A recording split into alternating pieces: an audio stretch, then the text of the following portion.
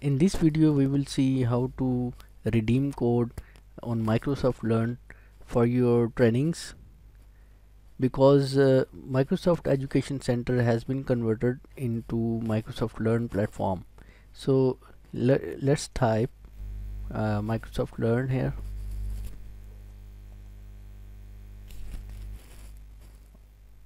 And uh, go to this website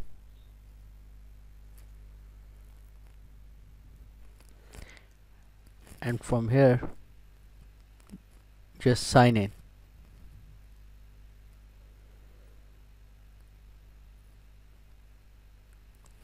Type your email address here.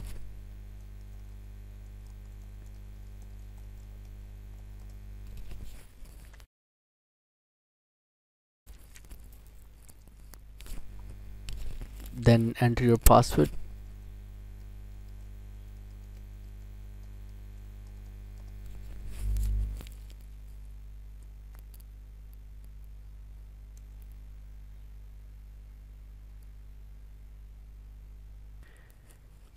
then go to your profile here. After signing in click on profile option.